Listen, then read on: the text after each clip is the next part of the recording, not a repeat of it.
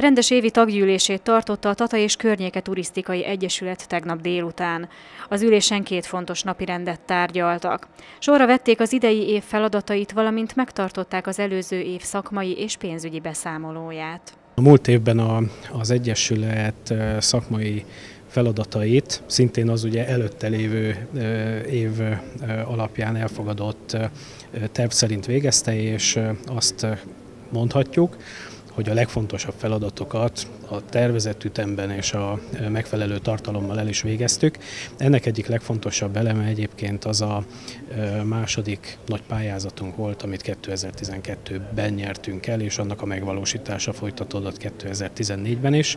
Ennek hát nagyon sok eleme volt, tényleg kisebb-nagyobb tételekből áll ez a pályázat, de például ennek kapcsán tudtunk egy újabb érintőképernyős pontot telepíteni, de pont a most megnyílt ökoturisztikai látogatóközpont elé például mobil applikációs alkalmazásokkal dolgozzuk fel éppen még Tatának a különböző természeti és épített értékeit, információs táblarendszert telepítettünk, stb. kiadványokat jelentettünk meg, ezek általában ugye pályázati úton valósulnak meg nálunk.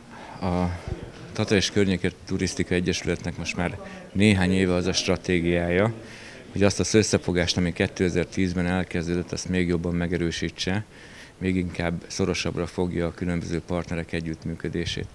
Ehhez hála Istennek már létrejöttek olyan dolgok, amikkel a közelmúltban még nem számolhatunk az új kajakházak a turisztikai központtal, vagy olyan attrakciókkal, mint a fényes tanösvény, hiszen ezek azért önmagukban is olyan egységek, amik várhatóan majd növelni fogják Tatán a turistáknak a lélekszámát.